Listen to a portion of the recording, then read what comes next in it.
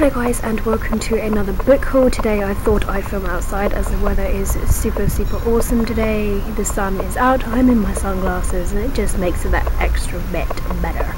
So I'm just going to reveal to you some books that I got this month so far. The first book being Shift, this is by Em Bailey.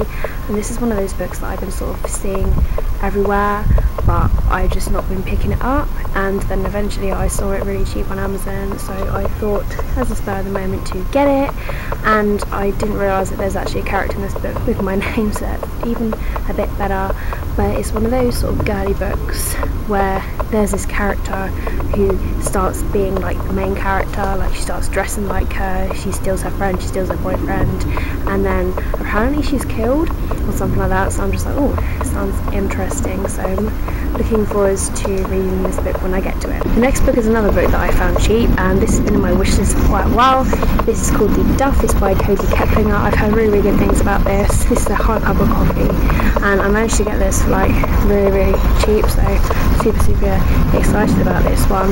But it's about this girl and one day she is called by a guy at her school the Duff which is designated ugly that trend it says there and she's kind of like not happy about that but things aren't going well for her at home and so she ends up getting with this guy and they are sort of like frenemies like more enemies or whatever but then she starts to discover that she actually might like him more than she should do really so it does sound like one of those really kick-ass awesome read. The next three books are part of a series. I do have the first two books that I found in a charity shop so I thought I'd get the next three books cheap as well as I don't care about condition in books and I got the last three books in the Percy Jackson series. I do have the first two as I say.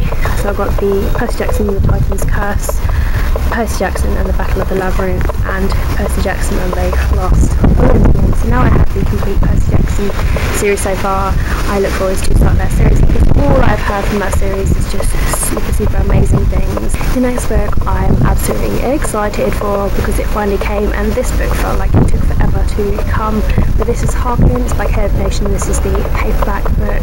And inside this one I've got it signed by Caleb Nation himself there. So super super excited about this one. I do have the ebook as well that I purchased when he released it on Amazon but I just wanted a physical copy of this book and he was offering to sign them. So you know why not? Why not? But absolutely looking forward to this book because I have heard really, really good things about this. And Caleb Nation is a pretty dashing young fella. Next of all we have Starfall, this is by W.A. Fulkerson. A few booktubers have been hauling this and reviewing this and showing it and it does sound really really good so the author himself sent me his book in exchange for an honest review and I'm absolutely looking forward to this book, it sounds amazing. On the back here it says Starfall is an exciting adventurous journey inside a world filled with giants, monsters and races not yet known and new mythology begins now. Next of all we have A Prince of Earth. This is by Stephen J. Carroll. Although it does say book two of the Histories of Earth series, the author actually said you don't have to read the first book to understand what's going on with the second book. But this was a book that was being given away in Lindsay Mead's giveaway video and I was one of the winners and I didn't actually realise that the author was going to inscribe it to me as well. I just thought he was just going to and he's actually written inside it and it says Katie congratulations you won I hope you love this book and he's just signed it so I was like oh my gosh and I'm looking forward to reading it because I'm in the mood for a middle grade book. The final four books I'm going to show you I actually purchased just yesterday, which was Thursday, and I went into WH Smith and Waterstones and they both were doing buy one get one half price books. And I just saw a couple of books I really wanted to get, so I ended up getting four. And I will first of all show you the books I got from Waterstones. This first book I'm super super excited for. I really, really want to read this pretty soon actually because it sounds absolutely amazing. This is called Geekhood Close Encounters of the Girl Kind. Has that cover there? It's so bright. And it's by Andy Robb. I don't know why I haven't seen this around before. That Archie is 14 years old and a geek to his core. Geek meets girl, what could possibly go right? So it sounds like it's going to be one of those amazing geeky romance reads and like going to be some hilarity in it and looking so much forward to this one's Itch. This is by Simon Mayo, and I absolutely love this colour. And Anthony Horowitz says it's absolutely amazing. He says a great debut. You'll be itching to read more. It does sound really awesome, actually.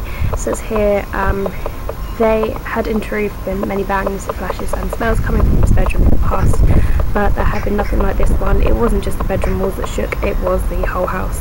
Not that Itch was aware of any of that, as he was unconscious. He would have stayed that way too if it hadn't been for the fact that his eyebrows were on fire. Sounds really cool, and like, I don't know if you can see it, but like, there are some equations there in the cover on the front and the back, and I absolutely love it so much, and it sounds absolutely awesome and I'm looking forward to this one. And finally the last two books I got from W.H. Smith, the first book being Die For Me by Amy Plum. I wanted to get this for a while, I don't know why I've left until now to get it because I've just heard really, really good things about it and I really want to start this series so I just picked up got it along with the book Monument 14 and this is by Emmy Laybourne and this sounds freaking awesome. Love, Lust, War Rage, What Does It Take to Survive? This is a story of what happens when 14 kids are trapped inside a superstar in the town of Monument. Inside they have everything they could ever need.